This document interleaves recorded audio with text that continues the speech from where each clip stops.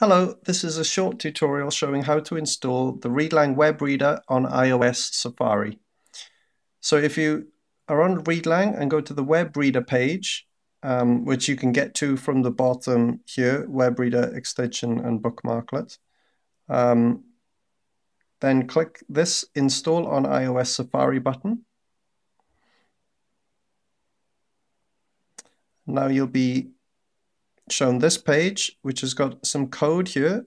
Uh, if you keep your finger on part of the code and copy it, um, sometimes you'll you'll tap it and it won't select the whole thing. But in my case, it's selecting the whole thing already, so I'll copy it. Uh, earlier, I found that I had to drag.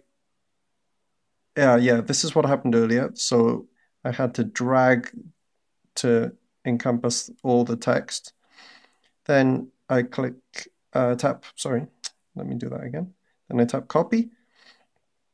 Then I click this button, the kind of share icon at the top. Uh, and then I tap add bookmark. And I give it a name.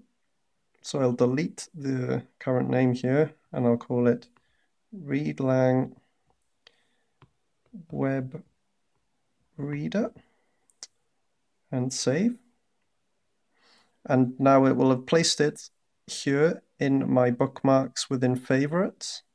So at the bottom, you can see the Readlang web reader.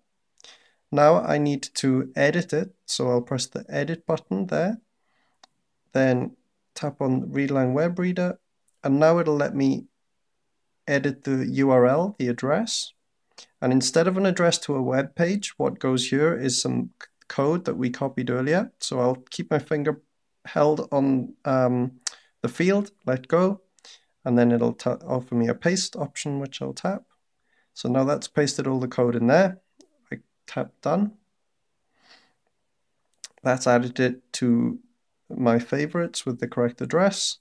Now what, I'll get rid of, um, no, I'll leave, I'll leave the favorites up there for now. Done, and navigate to some page that I want to read. Let's go to the Spanish Wikipedia and just choose an article that I want to read, uh, Arte Público de Barcelona. Um, now all I need to do is tap the Readlang web reader, which is in my, my favorites here. Readlang web reader.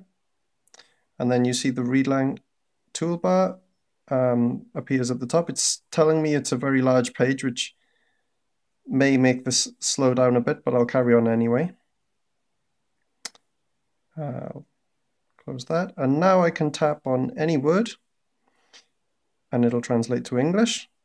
I can drag across a phrase, uh, la cultura como, culture as, um, arte público is public art.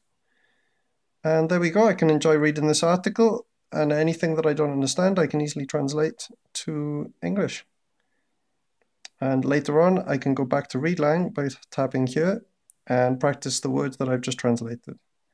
So there you go. I hope that helps.